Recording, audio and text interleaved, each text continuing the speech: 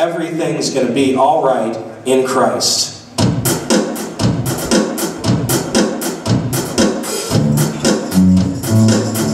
As we're getting started, I also want to um, prayers uh, for safety and for blessing for our bass player Dan Ryan. Um, he is going to be in Jamaica over the next week on a mission trip. He's going to be uh, uh, playing with a Christian band in different churches and a whole lot of different scenarios, reaching people um, in uh, Jamaica. So we pray that everything's going to be all right on that trip, and we wish you guys blessings.